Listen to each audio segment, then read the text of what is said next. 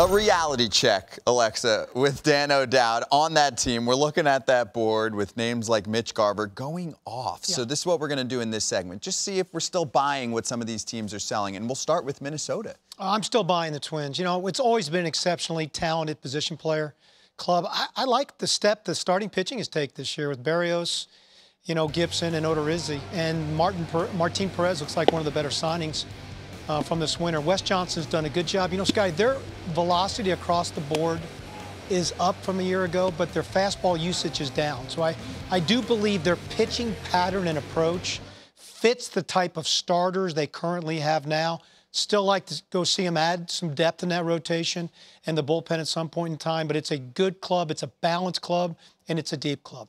I'm going to mix them in with the next team, the Cleveland Indians, because those are the two top teams, which we knew heading into the season in the American League Central.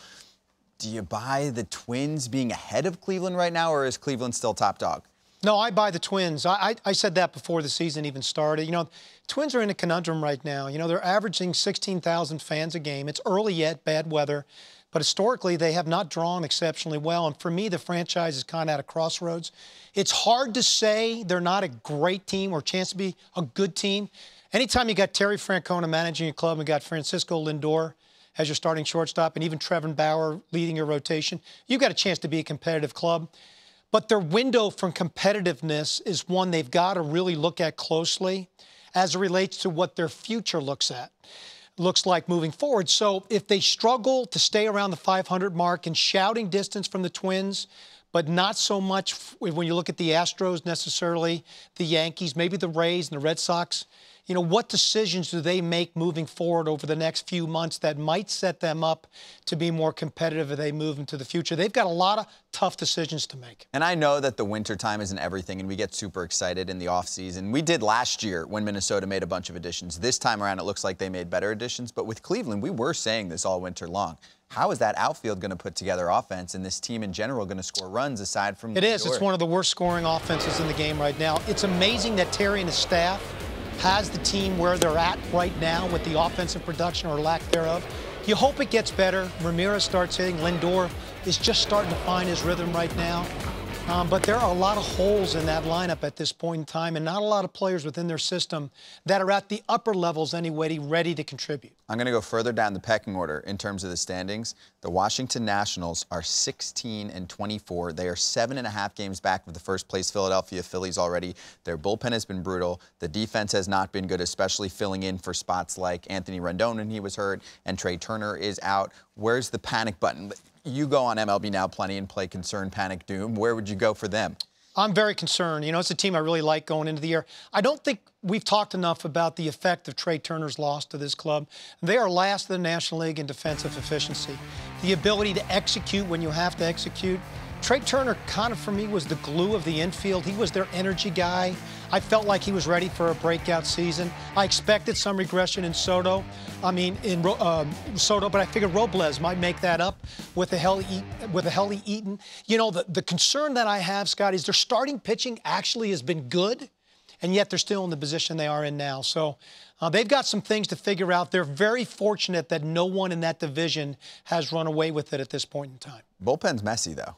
And yeah, and it's hard sometimes. to figure out in today's games. And it's messy with Doolittle having an ERA in the 115 area. Yeah. So it's their ERA is that bad because the rest of the bullpen has been that bad. We looked heading into the season at some of the names, high upside names, and almost every team does this, right? And they bring on a Trevor Rosenthal, a Kyle Barraclough, and you look and you go, those two plus Doolittle, that could work. But I did. I mean, I looked at their bullpen on paper and I said, you know, they did a really good job piecing it together. That gets back to what we talked about earlier, the unpredictability of what bullpens look like from year to year. It's just a, it's a very skewed look at performance in that particular role. And they've gotten caught right now. And again, it's a difficult thing to fix, fix because confidence plays such a big role. And right now, those guys don't have a ton of confidence. Okay, so the bullpen has been better in Pittsburgh, especially at the back end with Felipe Vazquez. Yeah, he's been really good. Keone Kela is on the disabled or on the injured list.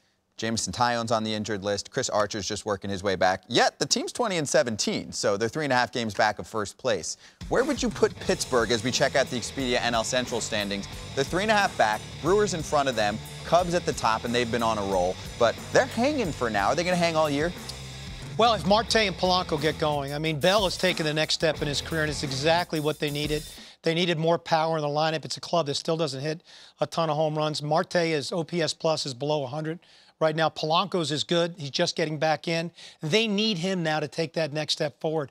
I still like their rotation. I still like their bullpen. I think Vazquez is one of the more unheralded back end guys in the game that's lights out. But offensively, this club is a struggle. I would have loved to see them this winter go out and add one more aircraft carrier into that lineup to take the pressure off on all of their fringier guys, their contributors that they have at the major league lineup. But I think Clinton and the staff's done a great job because they've gone through some really long losing streaks already, but bounced right back out of it and won some really, really big games. So they're show, showing great resiliency as a ball club. Okay, one more, and this was the one I was most excited to get to, and it's unfortunately because of an injury. Yeah. Tyler Glasnow was off to a spectacular start this season. And I know the Rays are a team that's just not made up of one individual, but he was so good. And now here come the Red Sox and Yankees. Where do you put Tampa Bay in the East? Well, you know, with a $60 million payroll, as much as I love their adaptability model, next man up, they always figure out a way to get it done. There's certain guys that you just can't lose for long periods of time. He's one of them. Um, because if you look at the rotation, the way it was set up, it was Snell who's still figuring his way back into the rotation. Great outing yesterday.